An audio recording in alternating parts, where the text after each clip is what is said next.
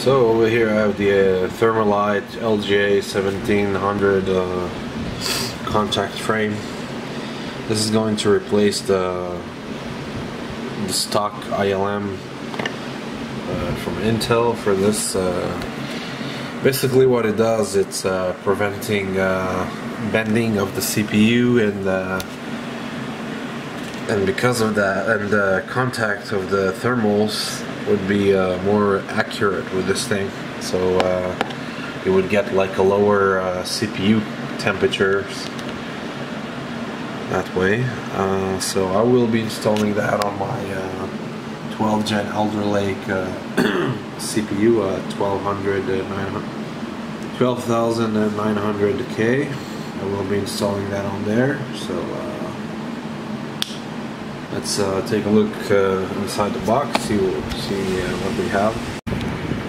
So as soon as you open the box, you get like the tool to uh, unscrew the screws that hold the custom ILM from Intel on the motherboard, and you get the contact frame.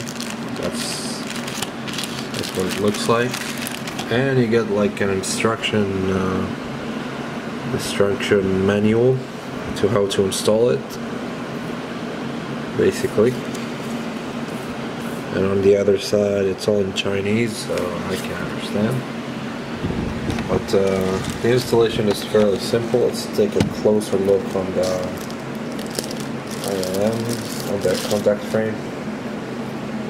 So basically it looks something like that. It's uh, it's black. This is where you you're supposed to put the put it on this orientation with uh, you have a triangle that would match the triangle on the motherboard. So basically to install that we need to reuse the four screws from the ILM on the motherboard. So uh, when I'm going to install it you'll see how it works basically. So here is the Thermalright contact frame is installed. Uh, it's been fairly easy to install this. It's just a one, two, three uh, method, just like you do with the Threadripper kind of in a way.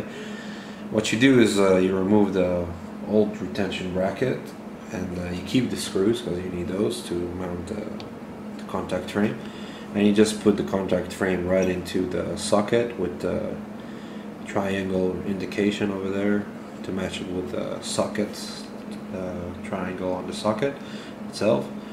And just place it in there and uh, you start with uh, to to put the screws all of them all four of them you put them in place.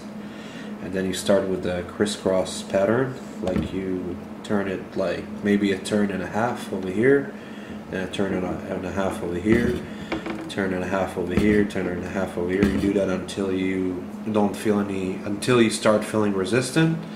Once you start feeling resistance, you stop right away because you don't want to put too much tension on the socket itself because otherwise you won't be able to post and uh, your RAM channel won't work. But don't worry, it's not gonna mean that you're uh, you broke anything. You just uh, all you have to do is release the tension over there and install it properly and it will should work right as rain.